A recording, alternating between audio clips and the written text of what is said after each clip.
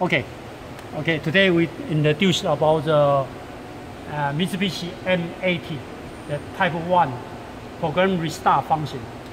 First of all, you have the setting the parameter. This parameter is for Type 1. Yeah. Now we can test. This one already set in, inside. So now we test about this function.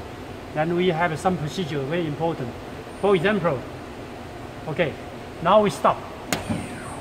It's a 550 is a block 50. Okay, we remember this one 550. Now, we maybe we turn off. Up, stop, turn off. We restart. Okay, we just waiting.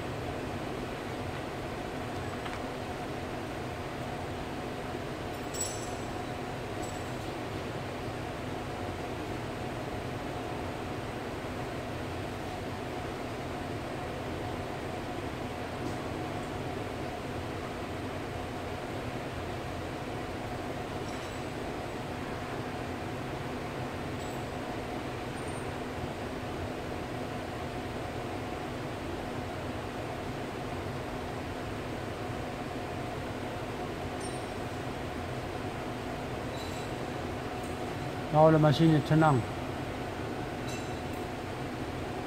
I Need to spin it. Okay. Now reset. Maybe you reset. Okay. And maybe tool is broken. So you move. You remember like, like this one. Okay. Now we move the position. We move the position. This one the position move. And uh, maybe you want to search something. Okay. Now you can, under this one, menu mode, we suggest you auto mode. Auto mode, they have the screen, they restart function. Okay. Restart function, okay. Then restart function, first of all, search excuse. We search. Now we search. 550, now it's a 559, 49. It's a, it means 50, we begin at 50. Okay, then you press the MSTB history, like this one. This one is mean to number five. To number five is a uh, RPM is 6,600. Yeah. Then you under this one, under this side, change to the MDI mode. Remember, have to change the MDI mode. Under here, you put input. Okay. Then this one, speed input. MA okay stop it. Input. Yes stop. then M3 you have to remember M3 input. Okay now is spindle running. We just stop the coolant but the coolant you have to remember turn out turn on the coolant changes mode you check this one keep running. It means it's okay. Then you close this one. Then you close this one.